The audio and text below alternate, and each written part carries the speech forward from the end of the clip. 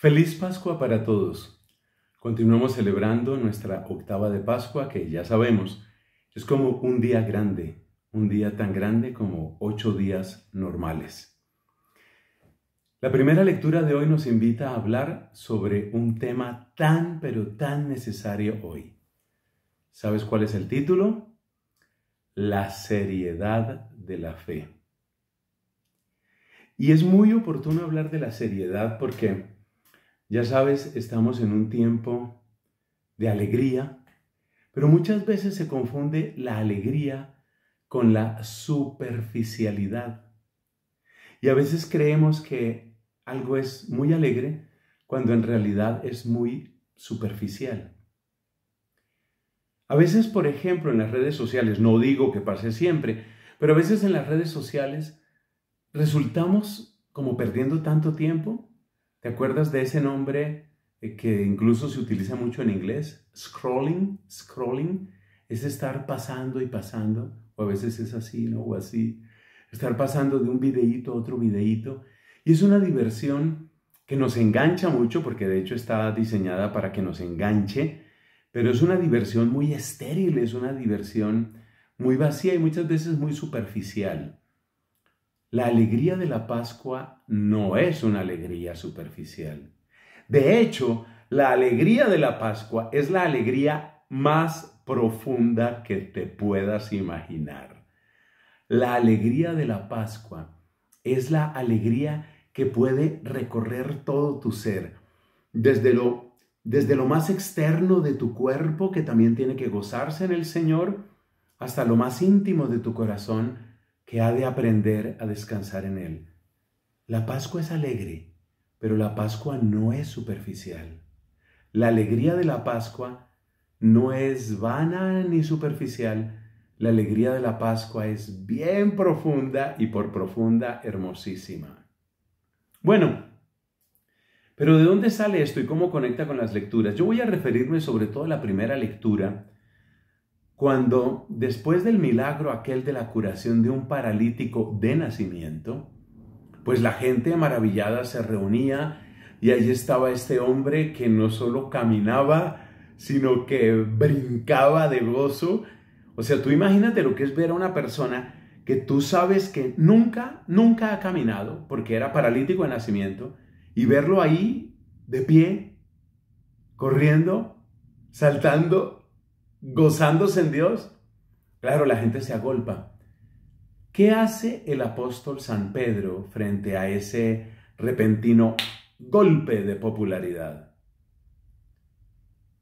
¿Qué hace Pedro? Esto es bien interesante. ¿Cómo aprovecha el momento? Era un momento de gran emoción de la gente, era un momento probablemente que podía explotarse como para gran júbilo, ¿Y qué es lo que hace Pedro? Volvamos al texto. ¿Qué es lo que hace Pedro? En primer lugar, le da la gloria a Dios. Esto no ha sido por nuestra propia acción o poder, esto es de Dios. Primero, le da la gloria a Dios.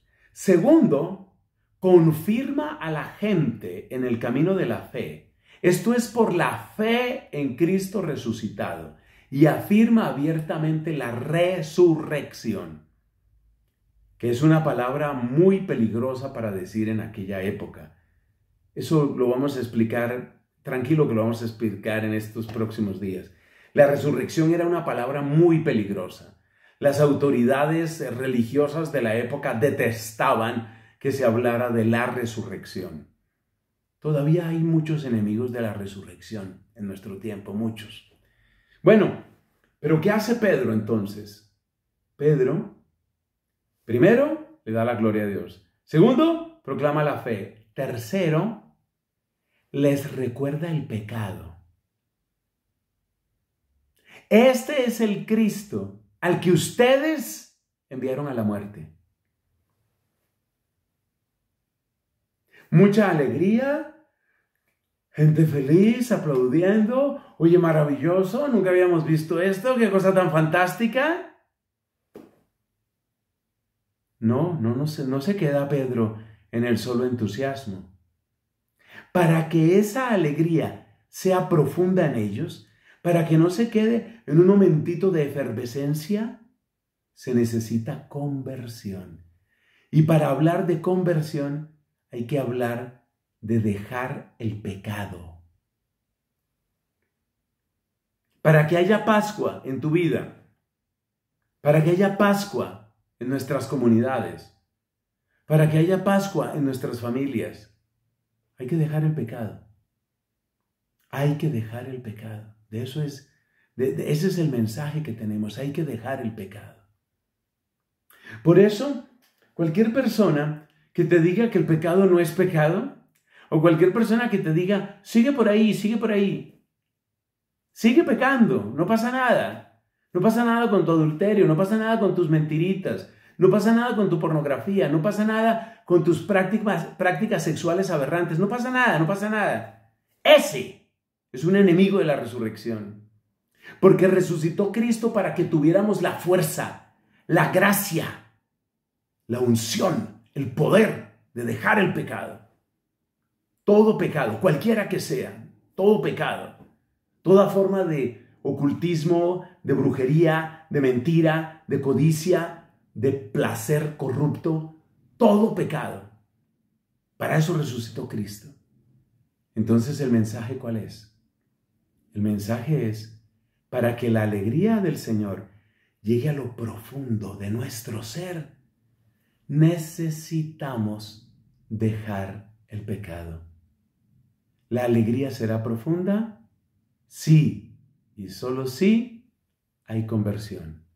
Amén.